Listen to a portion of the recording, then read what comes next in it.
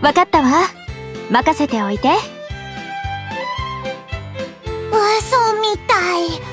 私たちがモデルなんて本当にいいの？あ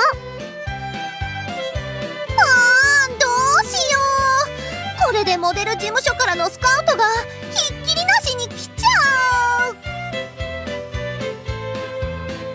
ここにあるお洋服は小鳥さんがファッションショー用にデザインしたのですねすごいですわ。スクールアイドルの衣装とは違う雰囲気でこっちもすごく素敵だね。いつもとは違うお洋服で慣れないかもしれないけどみんなに似合うデザインをしっかり考えてきたか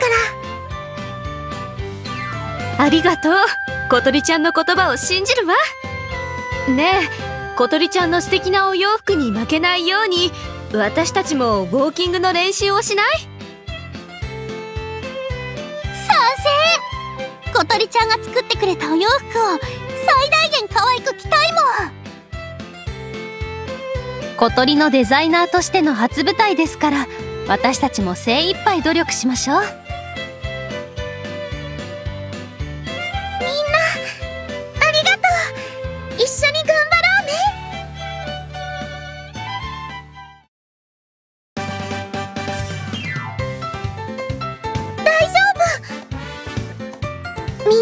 ァッションショーに出てもらおうってあなたが言った時はそんなことできるのかなって不安だったけど今ならできそうな気がしてるの。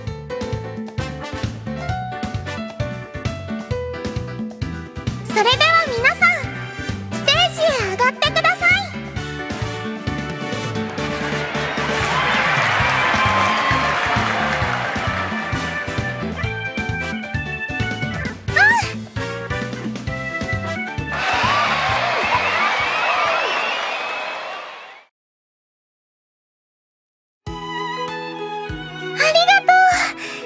ソロライブでファッションショーをやった時も感激だったけどこんなにたくさんの人に私のデザインしたお洋服を見てもらえて今とっても幸せなの。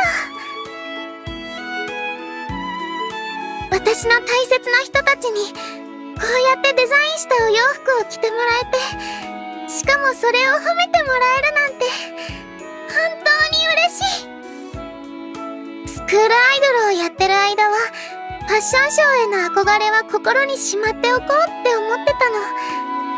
それなのに。それなのにあなたはみんなを巻き込んでファッションショーを成功させちゃうんだもん。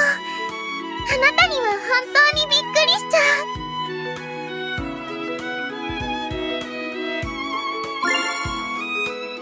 うん。ありがとう。私も私自身を褒め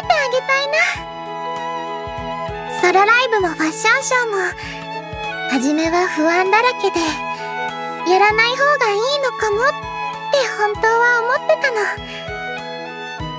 でもあなたが応援してくれたおかげでスクールアイドルもお洋服のデザインも両方頑張っていいんだって思えるようになったの。